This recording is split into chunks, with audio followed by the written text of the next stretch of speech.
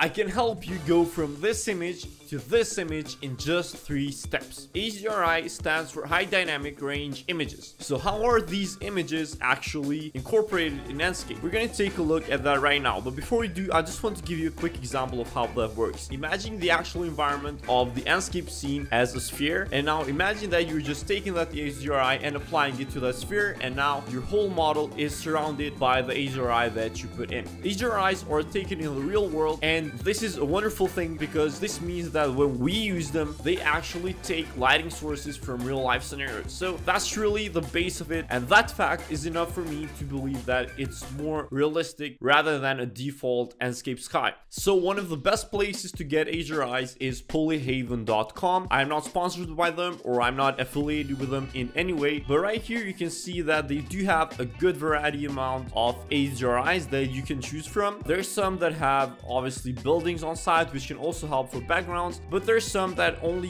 used for lighting sources and all of that. Over here, we have different categories that we can choose from, which have natural light, midday, nighttime skies, artificial light, and different type of skies as well. So let's say I want to download this field right here. I would first have to go at this section and make sure you don't have the EXR file type selected, but you would rather want the HDR file selected, and then we can just click download. So I do have an Enscape file that I have set up right here. I do have a video of how I created the render all step by step. Make sure you click the pop-up in the video right here. But if you actually want to apply an HDRI to this actual image, it's actually very simple. So the first step is you want to go to the visual settings. You want to go add the sky part and then add the source. You have to choose skybox. Once you have chosen that, you can go load skybox from file. And once I click it, I go ahead and find the location where I downloaded the HDRI and I just select the HDRI, I apply it, and then in just a second, you can see that the HDRI and the whole lighting setup setup changed for this actual render.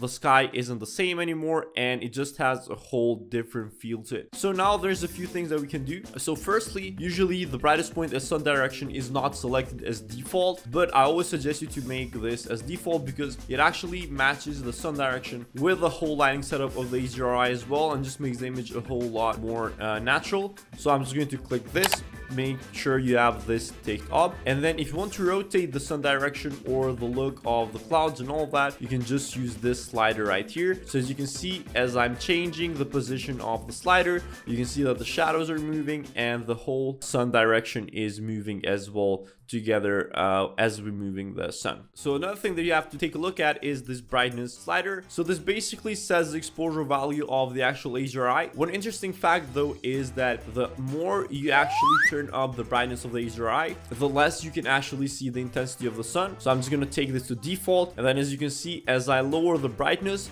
the more we're going to be able to see the intensity of the sun. So make sure you kind of find a good balance between the brightness of the HDRI and the sun intensity. One thing about HDRIs is that the main way they actually affect the image is that the renders reflect a lot of the colors that the HDRI has. So we can choose two different HDRIs and I will show you the difference in the screen right now, how they will be different to one another. So I'm going to replace the HDRI with another one which also has a city in the background and uh, as you can see right now, it has a whole different look. It also has a different type of reflection on on the actual windows. It also has some background and all that, but you can definitely see the difference between that one and this one. If you actually want to see the difference even more, we can go ahead at the Polyhaven website that we had earlier. I'm going to choose the HDRI's uh, version right here. I'm going to choose a different type of sunset. So let's say I want to try this one, which is like dawn sunset